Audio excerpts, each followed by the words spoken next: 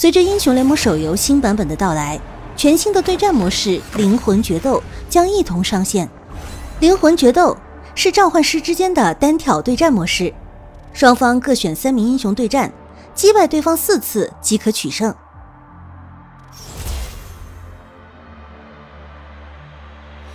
在灵魂决斗模式中，圆圈特效限定的范围内便是双方对抗的擂台。处于圈外的英雄会持续受到真实伤害，场景中有草丛和岩石阻挡，但没有战争迷雾。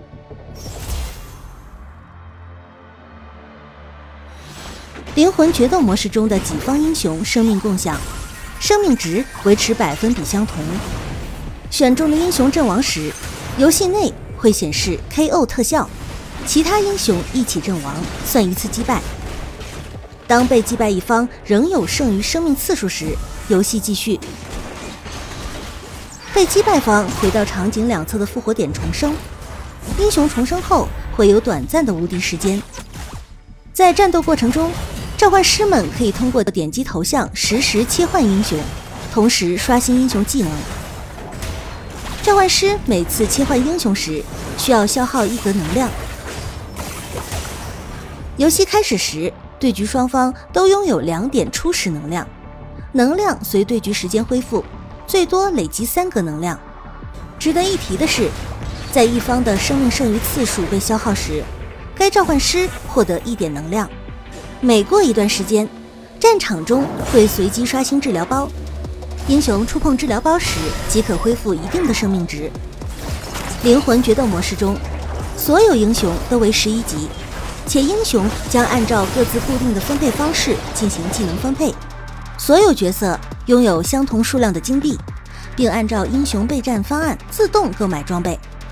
为保证战斗的流畅性，在灵魂决斗模式中，英雄数值有所调整。比如，法师将会获得高额法强，射手英雄则具有更好的破甲能力。辅助英雄选择输出装备后会具有不俗的表现，因此每个英雄都有上场的机会。当对局进行到三分钟后，对局双方均可发起投降。对局满五分钟后，游戏会出现倒计时。倒计时结束时，比较召唤师的剩余生命次数，剩余生命次数多的一方获胜。剩余生命次数相同，则比较双方当前生命百分比，百分比高者获胜。需要注意的是，虽然英雄自身的增益效果不会传递给下一位英雄，但是其他已经释放的技能在切换英雄后依然生效。